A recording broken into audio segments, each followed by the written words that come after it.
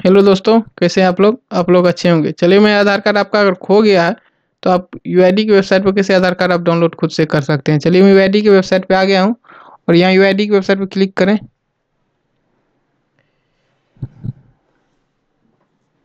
Click करने के बाद नीचे आ जाएँ।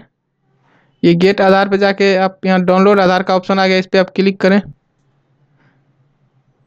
क्लिक करने के बाद देखिए हम लॉगिन पे आप जाके क्लिक करें।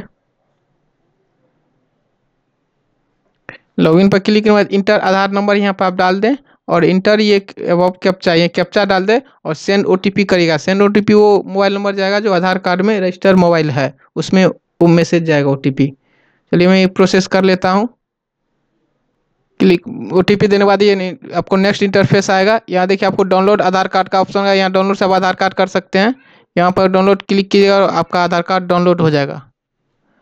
और डाउनलोड आधार कार्ड डाउनलोड करके उसको आप प्रिंट निकाल के आप यूज़ कर सकते हैं। और बहुत बहुत धन्यवाद हमारे चैनल को सब्सक्राइब करें। बहुत बहुत धन्यवाद।